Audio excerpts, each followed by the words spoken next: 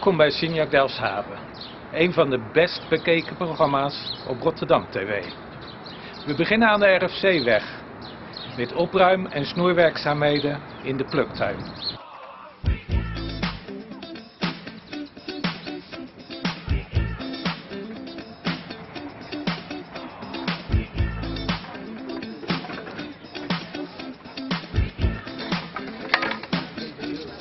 Kijk, dan doe je die zak doe je er omheen Ja.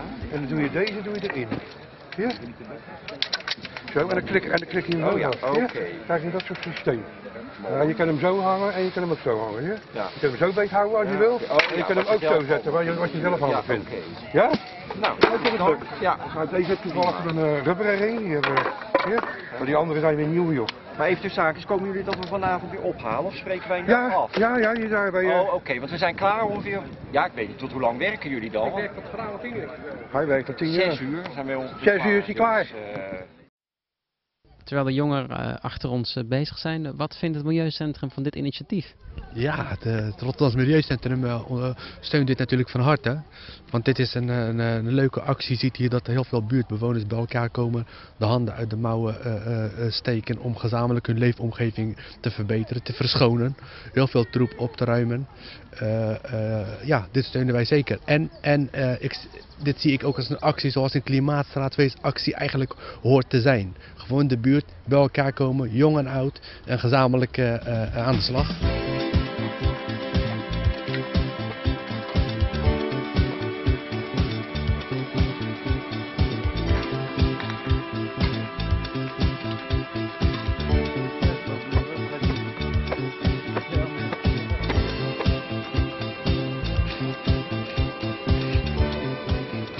Nou, wat mij beweegt, dat is van, ik eh, ben- op een aantal punten actief eh, in de buurt, omdat ik denk dat er wel een aantal dingen verbeterd kunnen worden in de buurt.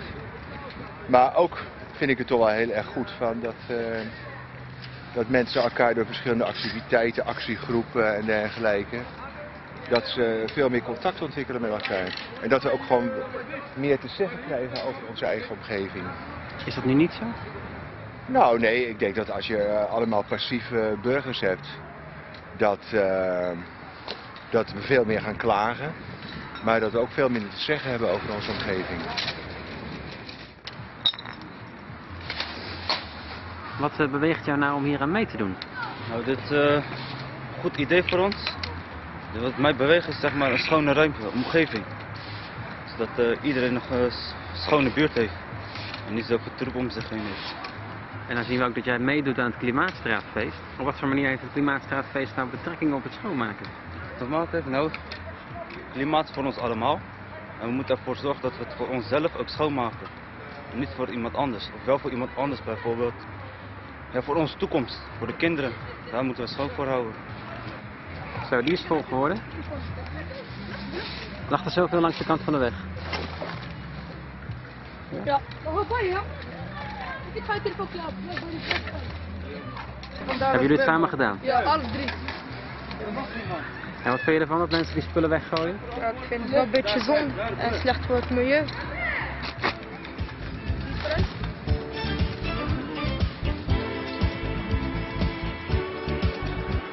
Dit initiatief ligt duidelijk bij de bewoners. En eh, vanuit de gedachte een eh, veilige buurt begint bij een schone buurt. En dan vind ik dat je als eh, professionals daar je, je steentje moet bijdragen. Al was het alleen maar ook om de bewoners te laten zien. Ja, het is niet alleen jullie prioriteit, het is ook onze prioriteit. En jongens, waarom doen jullie vandaag mee? Gewoon om eh, hier een beetje schoonmaken. Dus het is niet zo. Het is niet hier schoon. We willen het wel schoon houden. De wijk. En waarom vind je dat zo belangrijk? Gewoon, het is goed voor het milieu.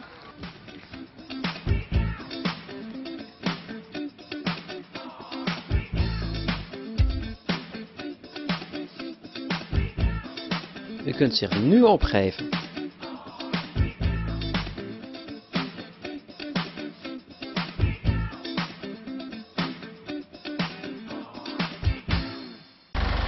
Signac Delfshaven is voor iedereen. Een tentoonstelling over het Justus van Effenblok bij de Dubbele Palmboom.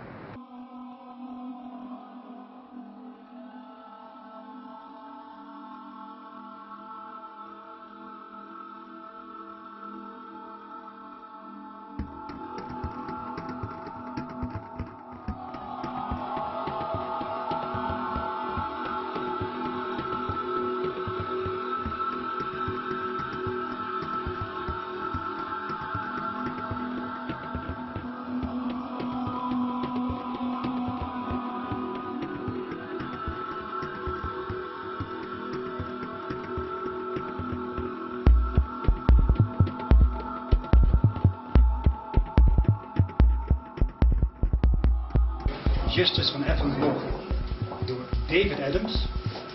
Ik stel u even voor aan de fotograaf, David Adams. Klein applausje.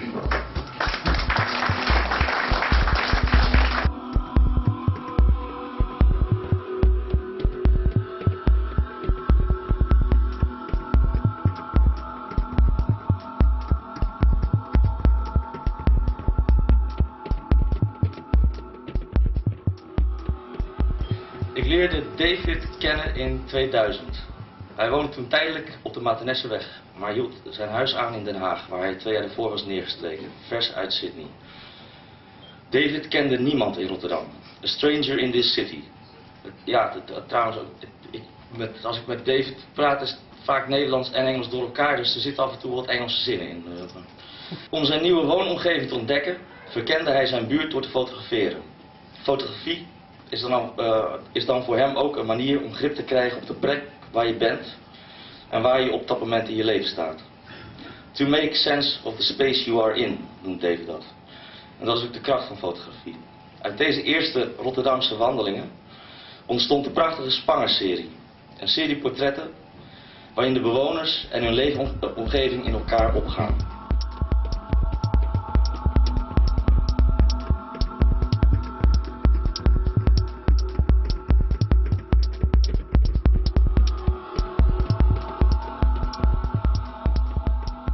Frank Taal. Eh, ik ben eh, galeriehouder en eh, vriend van David Adams. Het gaat over de Justus van Effen complex. Het is in twee delen. Eén deel is in 2010 11 gemaakt. Het gaat over toen Justus leeg was gemaakt van de bewoners. En de tweede serie gaat over de reconstructie of re- restauratie van de Justus.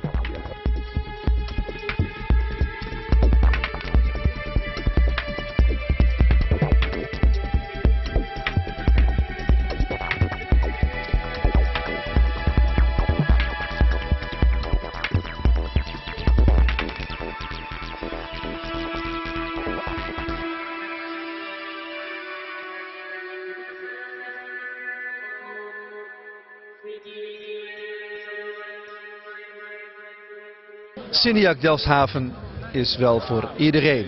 Kijk het dus. When I woke up this morning, I was feeling all wrong. Couldn't find any reason for a happy song. Yes, it's a good day for singing a song, and it's a good day. Wij zijn de bewoners van de Essenburg Singel die dit stukje van de Essenburg Singel eh, gaan claimen. En we gaan dat doen door grienden te maken, een kikkerpoel, een zitje waar we s'avonds lekker kunnen ontspannen, een kruidentuin, een munttuin en hier wordt de lijsterbes geknipt geloof ik, of de sneeuwbes. Dit alles hebben we geleerd van eh, Tom van Wanem van SNR. Die hier aansluitend eh, de schooltuintjes heeft. En hij eh, leidt ons eigenlijk op, want we zijn natuurlijk gewoon buurtbewoners en geen tuinmannen. Een griend is een natte plek waar je eh knotwilgjes op zet. En die knotwilgjes die kan je dan weer gebruiken om daar manden van te verlechten, dijken op te hogen, eh, whatever. De bedoeling is dat we dit eh, terreintje gaan we gebruiken om zo, zowel te tuinieren als allerlei, allerlei activiteiten, seizoensactiviteiten te gaan doen met de buurt. Zoals eh, sambal maken, jam, eh erwtensoep, eh, dat in de categorie koken voor de buurt. Eh, maar ook eh, activiteiten met kinderen, zoals eh, wat te doen met de vogels. Er komt een kikkerpoel waar we kikkerles eh, door kunnen krijgen. Dit is een vrij laag stukje. Het hogere stukje gebruiken we dan weer voor de kruidentuin. Zullen we erheen lopen? Ja. Kijk, dit worden, wordt de droge kruiden. En dat gaat met ijzelsteentjes. Dat zijn hele bijzondere steentjes. Ze zijn met de hand gebakken. En zijn ook al heel oud, zoals je dat ziet.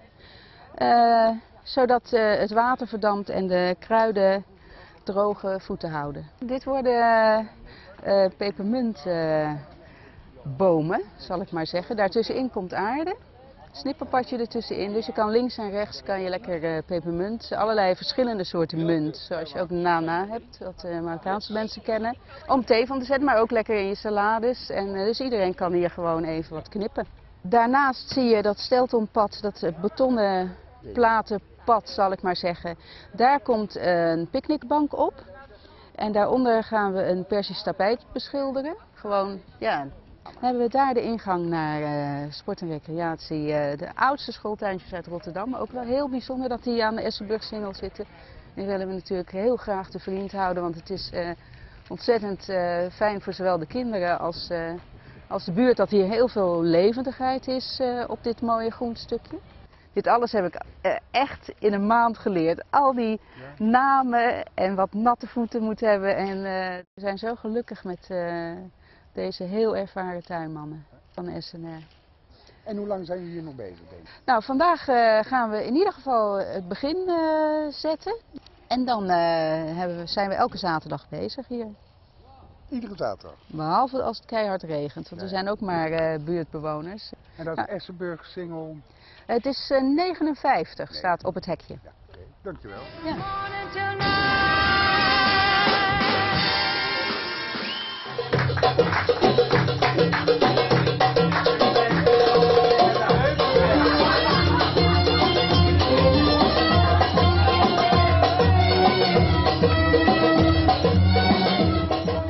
Praat met Jan van de Enk, een van de schatbewaarders van de schat van Schoondelo.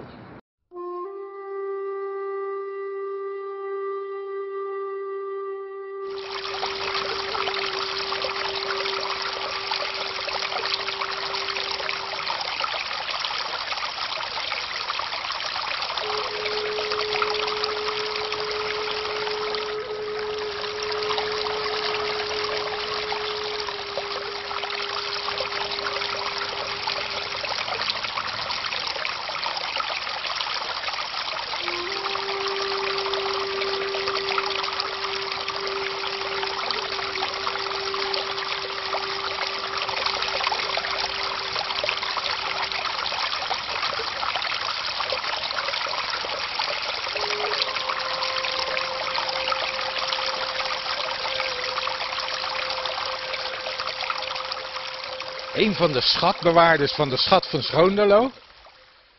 Uh, Jan, kun je vertellen wat de schat van Schoondelo is? Uh, de schat van Schoondelo is een prachtig terreintje aan de Schoondelostraat waar uh, bewoners het heft eigenlijk in eigen handen genomen hebben. Het zou bebouwd worden en is nu een prachtige tuin. Het is aanwezig. En wat gebeurt er vandaag? Vandaag zijn we een border aan het aanleggen. Dat is uh, een van de dingen die we ooit eens uh, met elkaar afgesproken hebben. En uh, nou, er wordt vandaag de bloemenborder aangelegd. Wat zou jij de schat van Schoondelo noemen?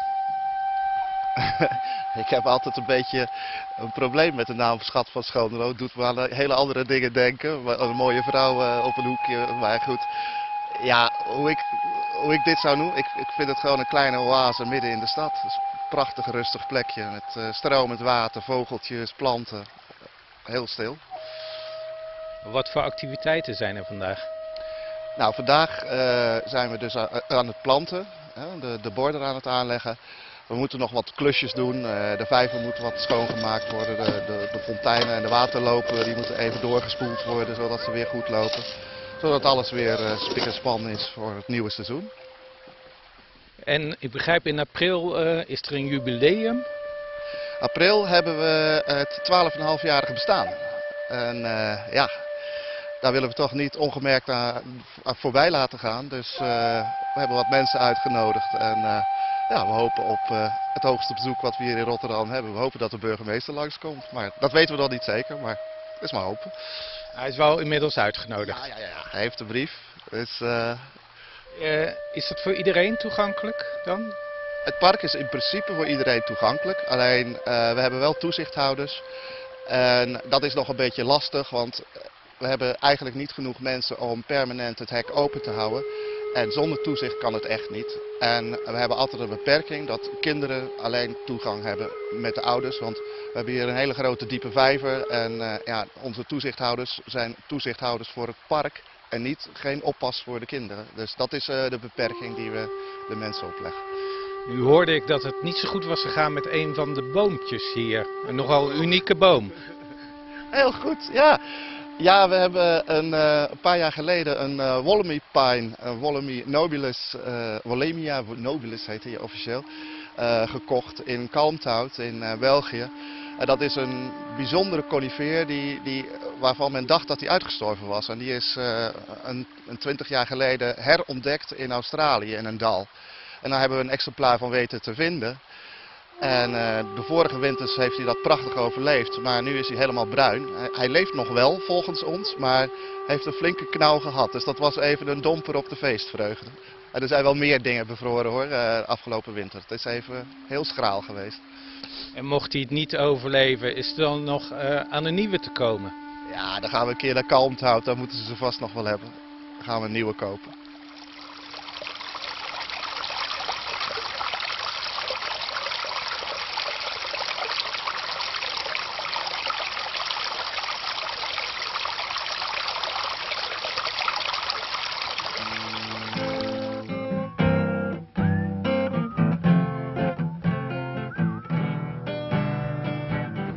Bone een nieuwe expositie bij Kunstinzicht aan de Matenesseweg.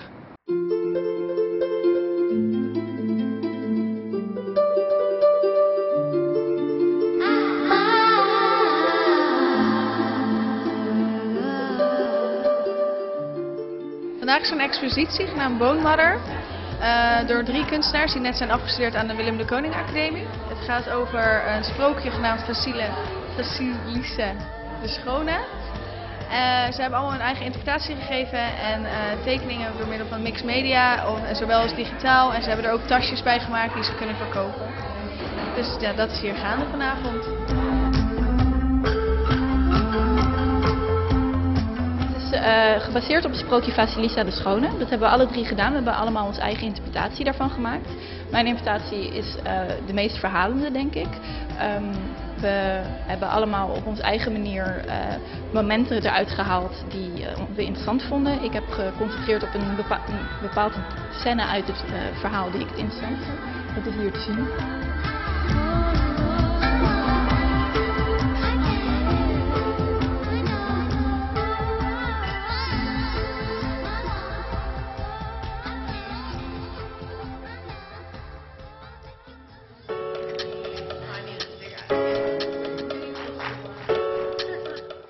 Principe heb ik uh, vier personages beeld ja, um, vormgegeven. De eerste is uh, um, het meisje waar het om draait in het sprookje. Dus uh, het meisje wat het, het, licht moet gaan halen bij de heks in het bos. De tweede is de, de heks zelf, met de, de schedels om haar heen die, die licht geven. Dus het is waar haar huis ook om draait, waar het meisje in het sprookje naartoe moet gaan. de derde is de boze moeder van het meisje haar op pad stuurt. En de laatste is um, een van de soldaten van de oude heks in het bos. We hebben dit met z'n drieën uh, bedacht. Uh, maar we hebben niet samengewerkt met werk. We hebben echt uh, afgesproken om dit sprookje te gaan gebruiken als inspiratiebron en dan een expositie te doen. Maar verder hebben we het helemaal, hebben elkaar niet echt meer gezien. En we hebben gewoon werk gemaakt en daarna gezien wat het is geworden, zeg maar.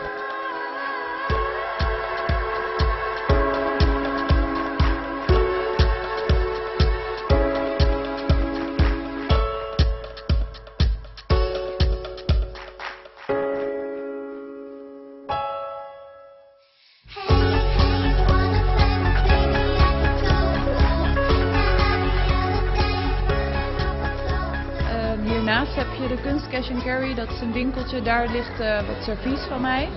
En uh, daar hangt uh, ook nog een paar, hangen een paar olieverfschilderijen hier, ook op de andere muur. En ook een serie waarbij ik alle billen van mijn vriendinnen heb geschilderd. Jo. Ja, dus die hangen daar, die kan je zo nog zien. Hey, bedankt. Ja, alsjeblieft. Wie is wie? Is wie? nou, Journey komt. dat is Journey. Het is een hele mooie, een beetje provocatief.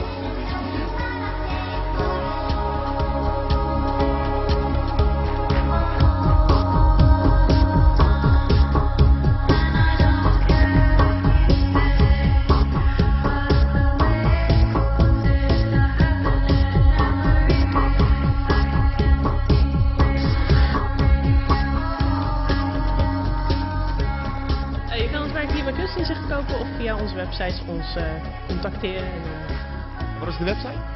ja, dat is voor iedereen verschillend. Mij is, eh, mij is turnydewilde.nl en dat is mijn hond.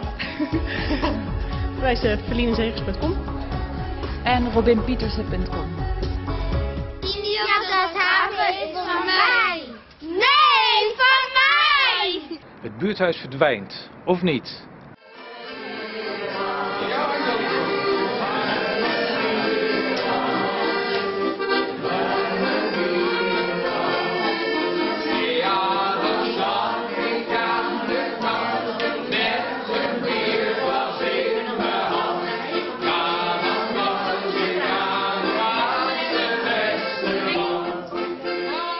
Ben Fred Burggraaf, portefeuillehouder van de deelgemeente Delfshaven en verantwoordelijk ook voor het onderwerp eh, wat vandaag aan de orde is. En dat zijn eh, de gebouwen, de accommodaties en de buurthuizen. Is een buurthuis eh, belangrijk in de wijk? Ik vind een buurthuis enorm belangrijk. Het is een plek waar mensen elkaar ontmoeten en waar mensen samenkomen, mensen dingen leren, waar mensen initiatieven nemen. Dus ik vind dat heel erg belangrijk. Ook voor de jongeren? Ja, zeker ook voor de jongeren. Ja, die horen, dat zijn net zo goed bewoners van deze wijk en deze deelgemeente, dus die horen ook in een buurthuis.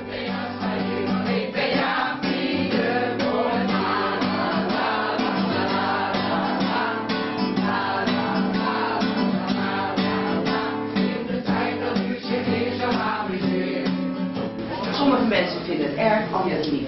Er zit voor en er zit tegenstanders. En daar gaan we het over hebben. Want het buurthuis is natuurlijk een instituut wat al jaren, decennia lang heel belangrijk is in wijken.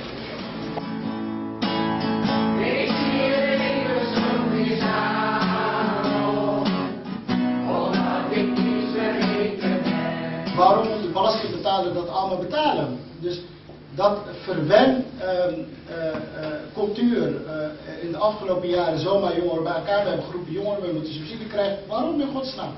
Waarom is het? Wat voor maatschappelijk effect heeft dat?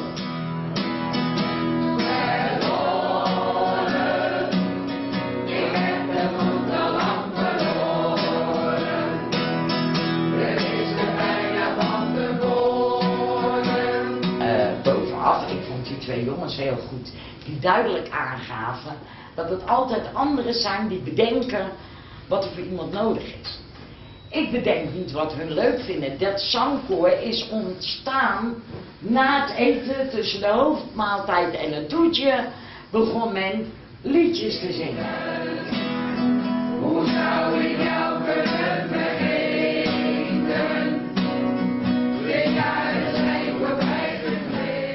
Rustig blijven.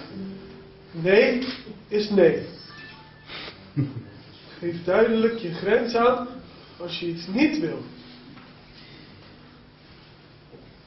Ze moeten jou ook respecteren. Wie je bent. Laat niet over je heen gaan.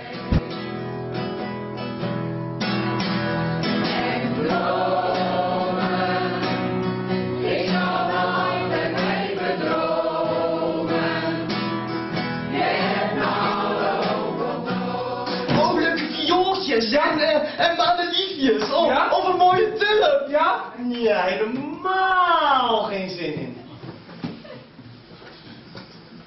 Eh, uh, karaoke. We karaoke. Karaoke. En dan, en dan, en dan zeg maar eh op het tv'tje. Ja? En dan met van die ondertiteling. Nou, en, en dan, ja, ja, en dan een microfoon. Ja. En dan op onze beurt dan eh, mogen zingen. En dan, dat is zo fucking stom.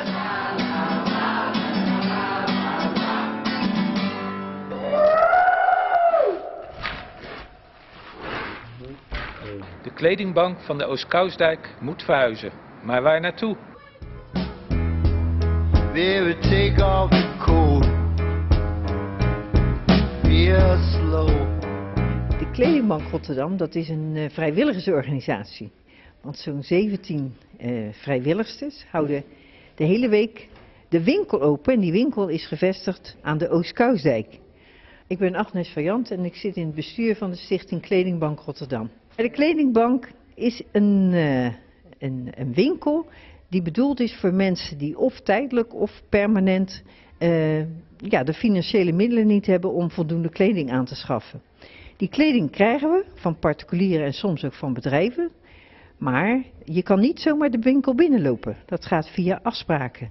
En die afspraken kan je maken bijvoorbeeld omdat je een verwijsbrief hebt van de sociale dienst of van het maatschappelijk werk of via de kerken of nou, van welke clubs maar ook. En dan kan je twee keer per jaar een aantal sets uitkomen zoeken. Come back here, stand on this chair. That's right. En nou moet u hier weg.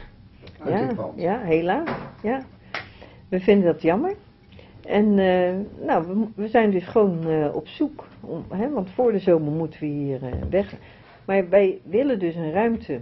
nou, hè, we hebben u al laten zien. De winkel, de opslagruimte. De, een ruimte voor de vrijwilligers waar je ook hè, wat administratie kan doen. Telefoon kan aannemen. En gewoon hier met elkaar koffie kan zitten. Maar je bent de hele dag, dus ook een boterham moet hier gegeten kunnen worden. We hebben eens in de zoveel tijd een teambijeenkomst. Dus je wil ook een ruimte voor dat hebben. Maar we willen tegelijkertijd begane grond, hè, dus meer een soort winkelruimte. Maar ook bereikbaar per openbaar vervoer. Want wij moeten gewoon de klanten uit heel Rotterdam hier binnen kunnen krijgen. Dus we stellen niet zoveel eisen, maar er zijn wel eisen in de zin van het moet wel goed bereikbaar zijn. Maar we willen gewoon, gezien de tijd, hè, de maanden die gaan toch, het is nou alweer maart. Dus eh, je wil gewoon zoveel mogelijk mensen die meedenken en meezoeken. Dus als er mensen in Delfshaven zijn. Het, het hoeft trouwens niet eens alleen maar Delfshaven, als er maar aan de noordkant van de Maas zitten. Oh, het licht gaat uit. Nee, dan vallen de stoepen eruit. Maar het punt is, we hebben haast geen geld. Dus eigenlijk hebben we het liefst om niet weer. Zoals we nu ook van Woonstad hebben. En wij verwachten de komende tijd, zeker gezien de omstandigheden in Rotterdam, en met toch een toenemende werkloosheid, ja. Dan wordt de situatie niet beter erop, hè. You can leave your head on. Maar een, eh, een, een, een droom, het is altijd goed om te dromen. Siniac Delfshaven is iedereen. Hartelijk dank voor het kijken naar Senior Delfshaven. Volg ons ook op YouTube, Twitter en Facebook.